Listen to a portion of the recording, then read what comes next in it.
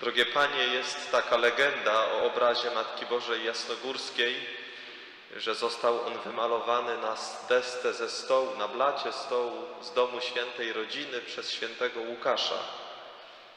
Oczywiście jest to daleko idąca legenda, ale że w każdej legendzie jest jakieś ziarno prawdy, to i tutaj y, ktoś, kto tworzył tą legendę, miał takie dobre wyczucie, bo święty Łukasz wymalował rzeczywiście portret Matki Bożej, tylko nie na desce ze stołu, a w swojej Ewangelii. Dlatego nasze y, spotkanie dzisiejsze chciałbym, aby rozpoczęło się od fragmentu z Ewangelii według świętego Łukasza. W szóstym miesiącu posłał Bóg anioła Gabriela do miasta w Galilei zwanego Nazaret, do dziewicy poślubionej mężowi imieniem Józef z rodu Dawida, a dziewicy było na imię Maryja.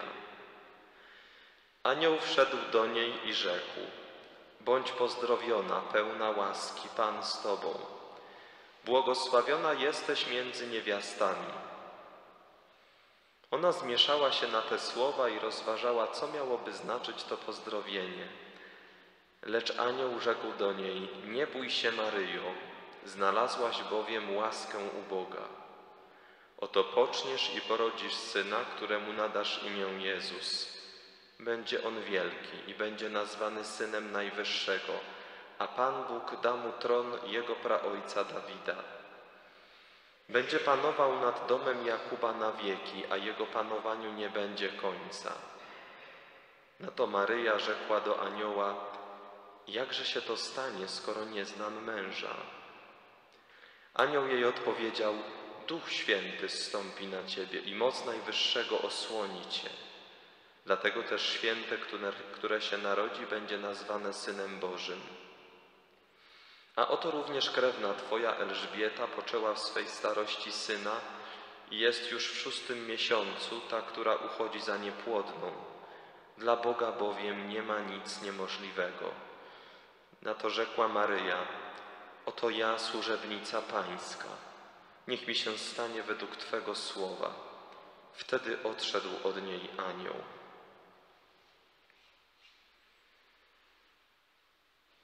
Drogie Panie, każde z Was, każdy człowiek jest stworzony na obraz i podobieństwo Boże i ludzie sami w to nie wierzą, bo, bo nie są podobni do Pana Boga. Sami mamy jakoś wątpliwości, jesteśmy bardzo zakompleksieni w tym Bożym obrazie. Wszystko byśmy chcieli widzieć, ale, ale, ale Pana Boga w sobie to już nie bardzo. Jesteśmy w stanie wyliczyć swoje wszystkie błędy i grzechy, nawet y, wyspowiadać się z całego życia, to jesteśmy w stanie podsumować. A jak, jakbyśmy sobie teraz kartki rozdali i wypisać, jakie mamy zalety, to tu już by były schody. Taką mamy dziwną naturę, że lubimy widzieć w sobie zło, a trudno nam zobaczyć ten Boży obraz w nas. I dlatego czytamy Biblię bo Biblia nam pokazuje, jacy jesteśmy, jakim Pan Bóg nas stworzył, ile w nas jest dobra i piękna. Czasem mówimy, że jakoś nie słyszę Pana Boga. Nie słyszę Pana Boga, jakoś on, nie, nie mogę Go poczuć na modlitwie. To może, może zacznij być sobą na modlitwie. Zacznij być autentyczna na modlitwie, to wtedy zobaczysz Pana Boga. To wtedy się objawi. Się wtedy, kiedy On Cię zobaczy taką, jak Cię stworzył taką prawdziwą z tym wszystkim, co masz. I dlatego właśnie Biblia jest takim dobrym obrazem tego, jaki człowiek jest. I, i widzimy tutaj w tym fragmencie, który przed chwilą słyszeliśmy, przepiękny portret Maryi, przepiękny obraz, obraz kobiety. Jaka kobieta jest z natury, ze stworzenia, jakie wszystkie jesteście. To, co Pan Bóg wam każdej z was dał, to każda ma. Każda ma inny wygląd zewnętrzny, czy inne cechy charakteru, temperamentu, ale y, każda ma te wspólne cechy kobiece i one są absolutnie niezbywalne. Mnie to zawsze zadziwiało u kobiet, jak to jest możliwe, że jesteście w stanie robić wszystko naraz i to wychodzi.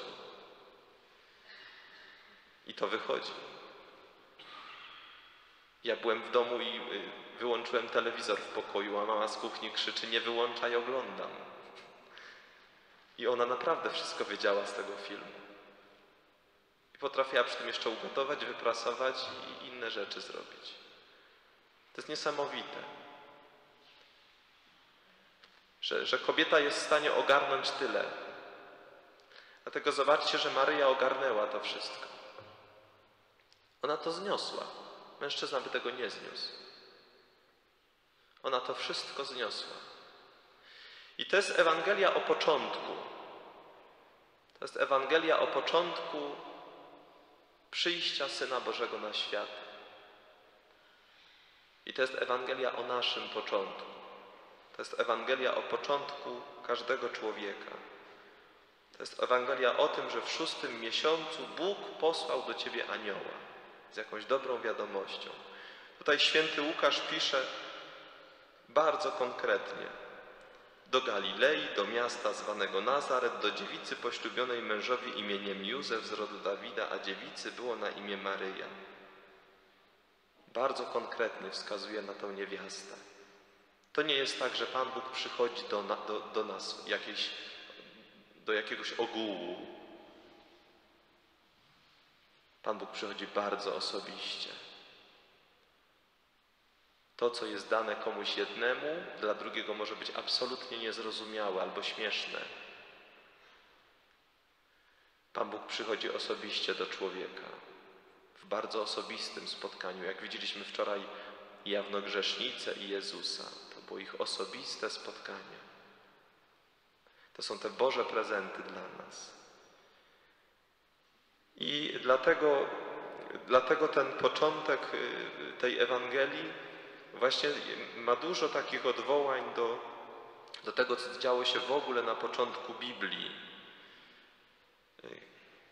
Kiedy czytamy początek Księgi Rodzaju, to Pan Bóg stwarza człowieka najpierw jako mężczyznę, potem człowieka stwarza jako kobietę i y, przyprowadza do mężczyzny wszystkie stworzenia, wszystkie zwierzęta, różne stworzenia, y, a mężczyzna nie znalazł tam dla siebie pomocy, pisze autor Księgi Rodzaju.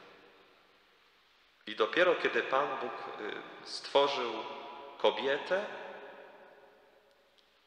mężczyzna uzyskał odpowiednią dla siebie pomoc. Możemy przeczytać. Żadna rzecz, żadna rzecz nie zaspokoi człowieka, tylko człowiek człowieka. Żadną rzeczą nie wypełnimy tej pustki, jaką mamy w sercu z tęsknoty za drugim. Żadnej.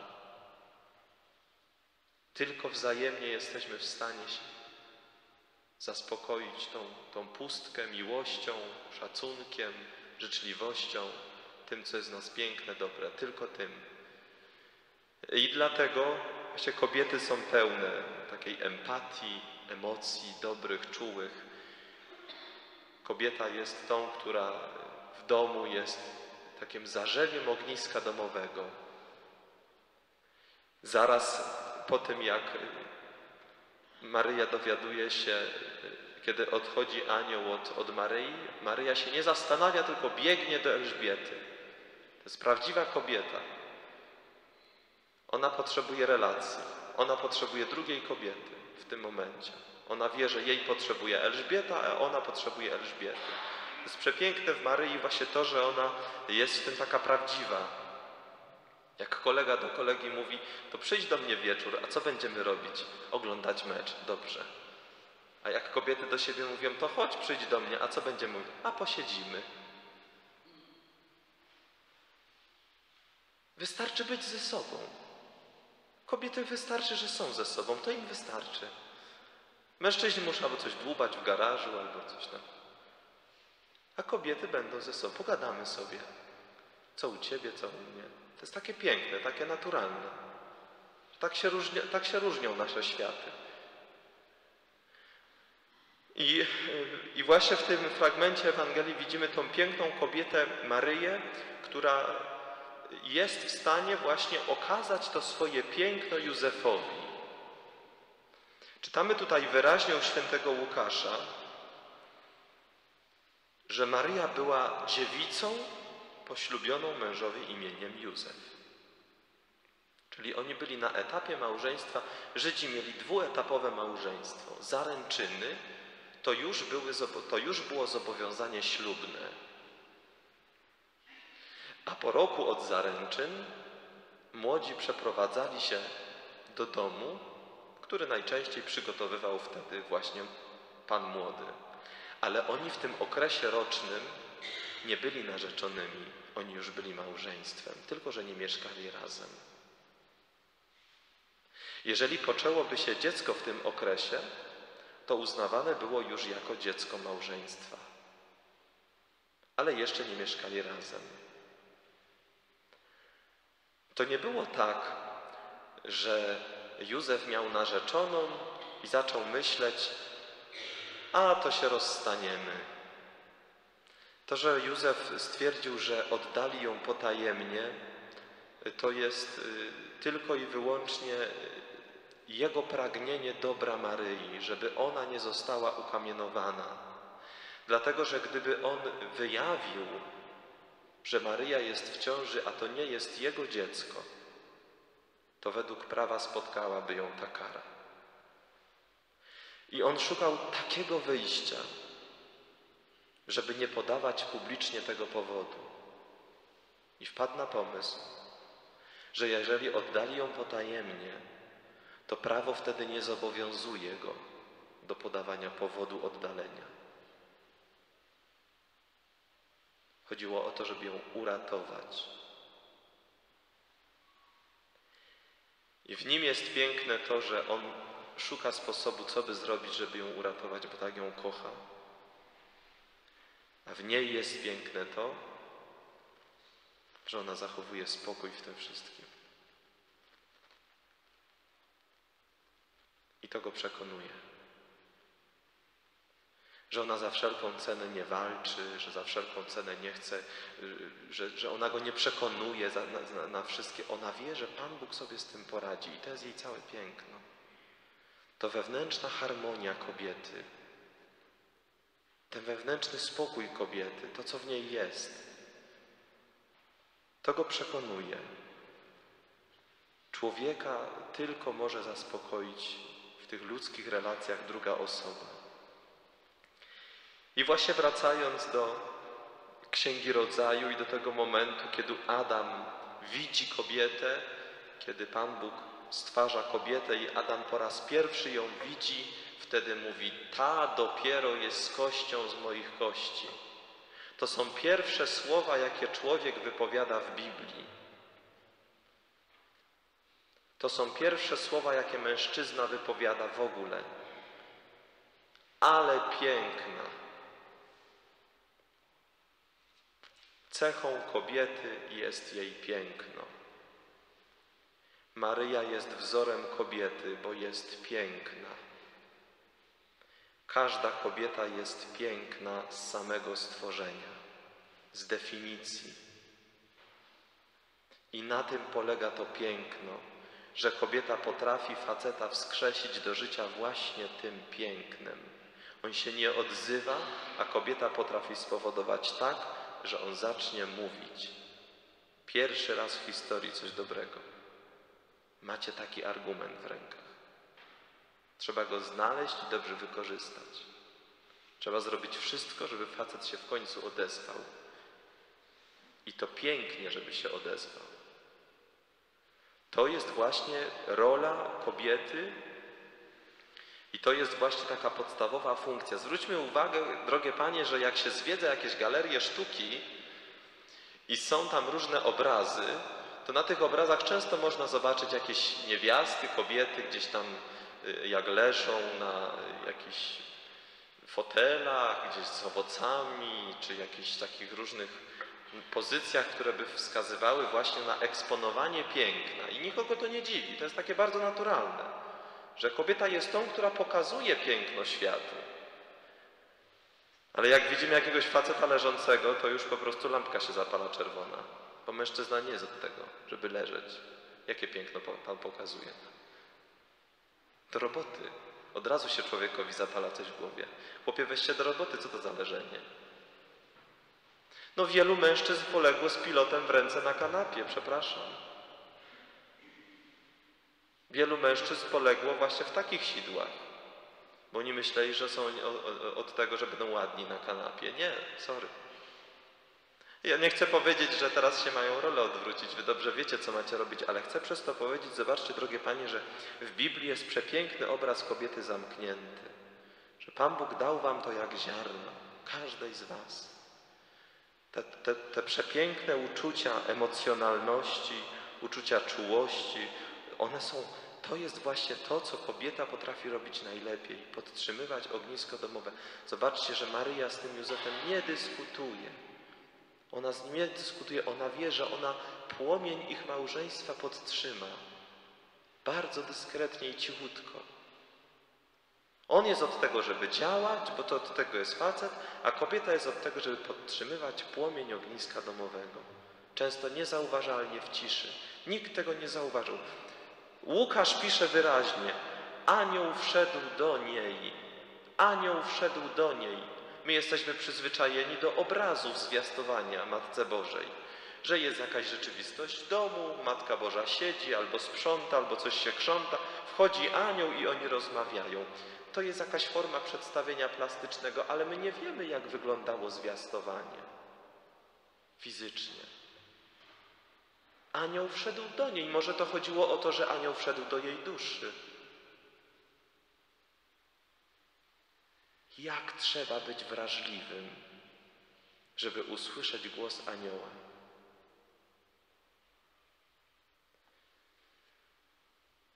Jak dzieciom w Fatymie się objawiała Matka Boża, to Franciszek ją tylko widział, ale nie słyszał, a dziewczyny ją widziały i słyszały. Bo kobieta jest wrażliwsza niż mężczyzna i widzi więcej, widzi inaczej. Kobieta widzi, że dziecko płacze, bo jest głodne. Od razu pomyśli, co trzeba zrobić dziecku, co to dziecko potrzebuje. A mężczyzna widzi, że dziecko płacze i zaczyna się denerwować.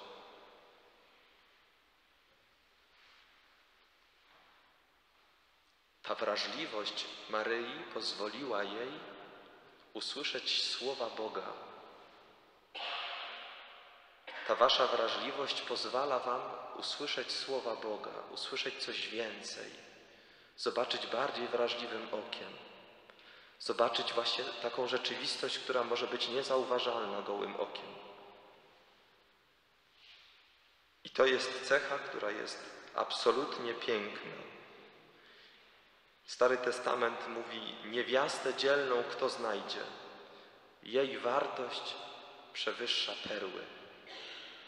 Wartość dzielnej niewiasty przewyższa perły. Dlatego, że tą wartością nadrzędną kobiety jest to piękno, jakie Pan Bóg w Was ulokował. Macie w sobie to naturalne piękno, widzicie świat pięknym, widzicie świat dobrym, lepszym. Jak chcemy, żeby nasze domy były lepsze, to właśnie to, ta funkcja żony, mamy, babci, teściowej polega na tym utrzymywaniu ogniska domowego. Na tym płomyczku, który jest czasem niezauważalny. Przez to, że wy umiecie wykrzesać to piękno, że umiecie pokazać coś pozytywnego, że umiecie mężczyznę pochwalić. Trzeba ich chwalić. Mężczyźni to bardzo lubią. Bo wtedy czują, że zrobili coś. Nawet z małych rzeczy. To jest właśnie funkcja piękna kobiety. Piękno, które jest w Was, Wy umiecie zauważyć i pokazać. Ta wrażliwość często jest właśnie gdzieś tam zaniedbywana w nas, zakopywana, ale to jest właśnie, na tym polega dzielność kobiety. I wartość takiej kobiety, która umie zobaczyć piękno, wyłuskać je, pokazać w rodzinie przewyższa perły. Przewyższa wszystkie kosztowności, każdy skarb. Drogie Panie, y, dajmy sobie kilka minut y, właśnie w takiej osobistej relacji z Panem Jezusem. Za chwilę wystawię Najświętszy Sakrament, dosłownie na 10 minut. I proponuję, by każda z Was z Nim po prostu posiedziała. Po prostu na Niego nawet popatrzcie. Pomyślcie o tym, jakie słowo, jakie słowo, jaką rolę Pan Bóg Wam dał przy Waszym zwiastowaniu. Pomyślcie może o problemach, z którymi teraz się mierzycie, gdziekolwiek w życiu. Może trzeba je oddać Panu Bogu. Pomyślcie o tym, że o tym swoim Bożym obrazie, który Pan Bóg w Was włożył, żeby był gdzieś odkopany. Bądź prawdziwa przed Jezusem. Nie udawaj. Nie zakładaj różnych masek, makijażów.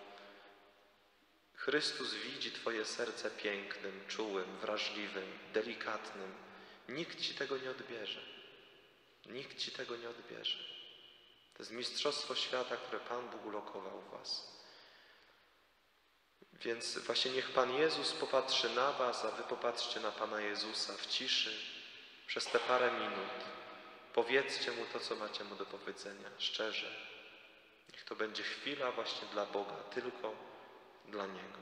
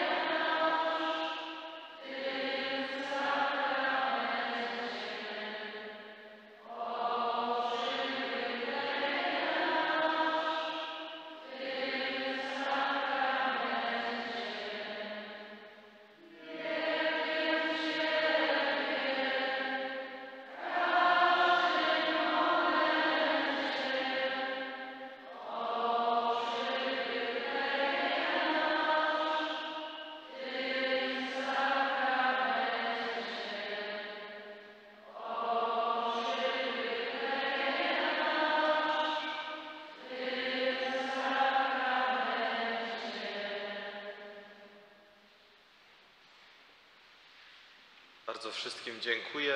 Niech będzie pochwalony Jezus Chrystus.